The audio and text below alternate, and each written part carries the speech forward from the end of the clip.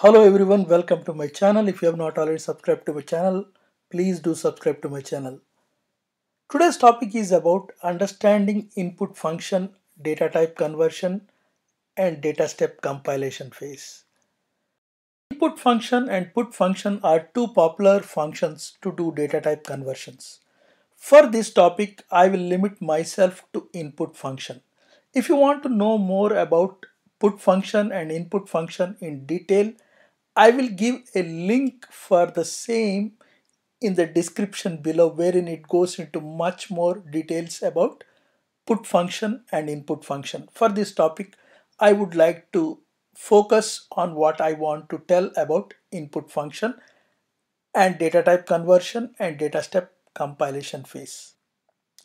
So now let's get into the input function. Input function takes character variable as source and can return a character or numeric value on the basis of informat supplied.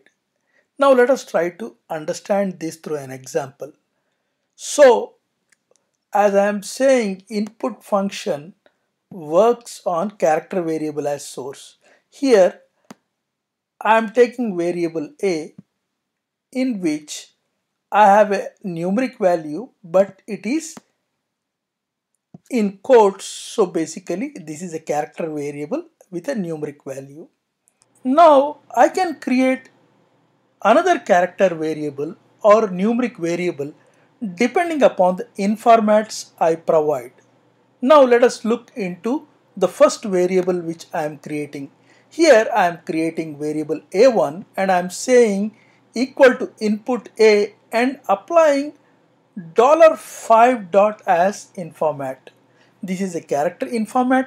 Whenever we use a character informat, it is going to create a character variable. Whereas in the case of A2, I am using a numeric informat and when we use a numeric informat, it is going to create a numeric variable. Now, there are a couple of other things to understand in here. In here, the variable a has the length of 3, a1 as we are using the informat $5 dot, it will have the length of 5, whereas a2 will have a numeric variable. Now, why this happens, we can go little bit in detail by using a data step compilation phase. Now let us look into how data step works. Data step works in two phases. The first one is known as compilation phase where data attributes are set and the second phase is known as execution phase when the data is read. Now for this topic I'm going to concern or I'm going to limit my discussion only to compilation phase where the data attributes are set.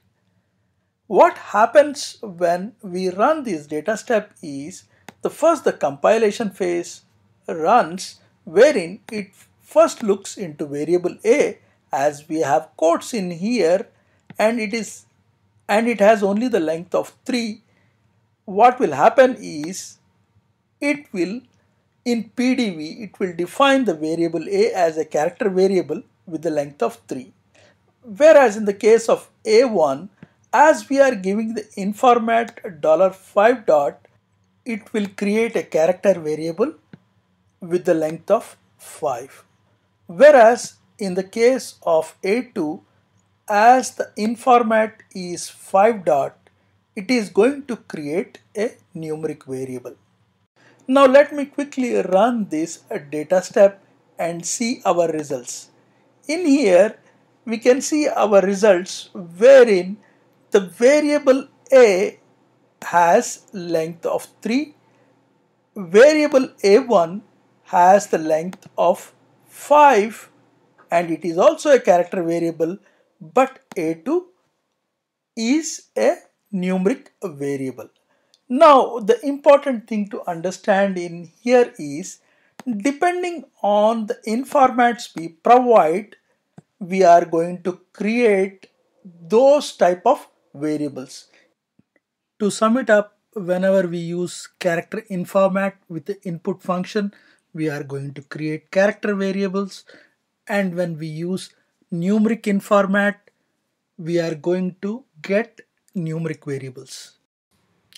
Now let us look into another example wherein the things or the results are not the same as you expect but there is a reason for it and this is the common mistake many new or beginner programmers do.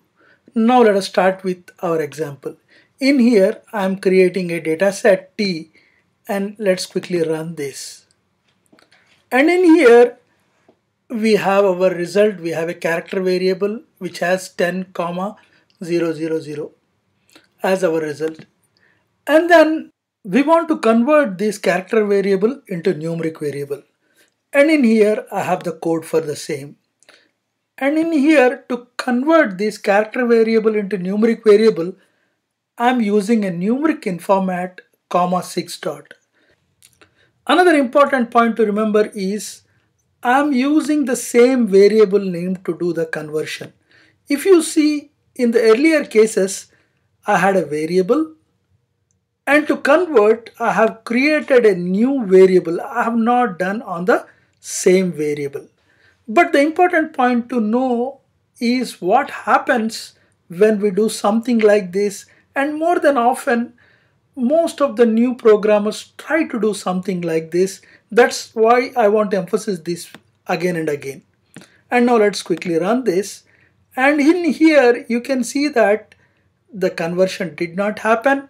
And again we have the same data type that is character variable and everything is same except that our value of a is converted little bit differently. That is we don't have comma anymore now let us try to understand this why this is happening and for this we again need to understand how data step works again data step has two phases wherein it works. The first phase is compilation phase where the data attributes are set and the second phase is execution phase where the data is read. In the compilation phase, as I said to you earlier, variable attributes are set. And again, one another important point to remember here is if we have a variable mentioned multiple times like in set statement we already have our variable a. And again we are creating another variable here a. Data step compilation phase only looks for the first instance and only the first instance matters and I have made a video on this topic link for the same I will give in the description below now let us come back to our point in here so as the set statement has the data set t, in the data set t, this variable is defined as character. So in compilation phase, we will have this variable as character. No matter what we do in here, the compilation phase will always set to the first instance that is where we have set our variable to character and that is in our set statement T. Now when this input statement runs that is during execution phase that is when the data is read what it does is it tries to convert this value into a numeric value that is it reads this 10 comma 000 and it removes this comma and tries to read as a numeric. Because our variable is a character variable, even though it has read it as a numeric value, what it does is it in the back end or you can say implicitly it converts back into character value. Now to understand this, let's quickly look into the log, what the log says to us. In the log, it says that numeric values have been converted to character values, which means, in fact, when we use this informat comma 6 dot with input, it did convert to numeric value, but what has happened was it was not able to stay as a numeric value because our variable has been defined as a character. So what it does is it goes back to character value. That is what it means. Numeric values have been converted to character values. Now to sum it up, I would like to say one very important thing. Whenever you want to convert a data type, if you do something like this wherein you are using the same variable and you are also doing the conversion where the attribute is first defined will take over. In this case because the set statement the variable value its character even though we want to convert as numeric that will never work. That is the same case whenever you want to do any data type conversion. Now you might be thinking how do I convert this without much of fuss. So one important thing to do in here is you just can't use the same variable at both the sides. So what do you need to do is you need to rename this variable wherein we need to say a equal to a underscore car. It does not matter what variable you want to rename it as. I have just renamed it as a underscore car. Now what this will do?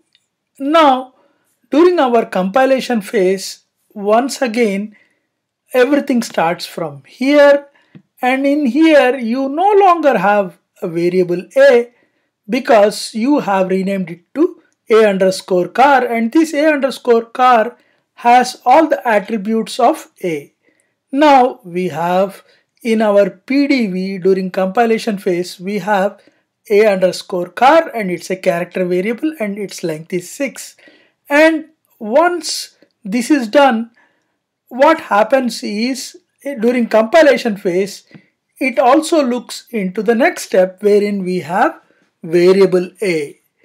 And this variable a because there is a comma 6 dot it sets the variable attributes to numeric. And here I would say it is numeric and now our variables are set now when we run this code what happens is it creates a new variable a and it will have a numeric value so we started with A and we have A and we have converted into numeric.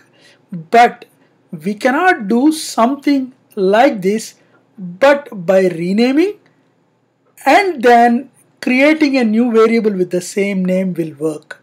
As we do not want to have this A underscore car because it's of no importance for us, we can use a drop statement once these two steps are executed, what will happen is it will drop this particular a underscore car variable. Another important thing to remember is during compilation phase, it also remembers that you have a drop statement and it will have a flag for drop and once execution and everything is done, it will drop this variable. Now we have variable a and it is numeric. Now let us quickly run this and see our result. In here we have variable a and it is a numeric and you can see from in here. And let's also look into the log. In the log we don't see anything related to conversion. And one important point I want to emphasize once again before wrapping up the whole topic.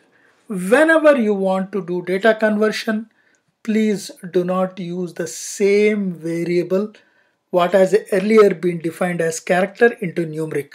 That doesn't work. Instead, rename it to another variable name and then create the variable name you want and then drop the variable which you have renamed. That's all for this topic. If you have liked this topic, please give it a thumbs up, share, subscribe and thank you.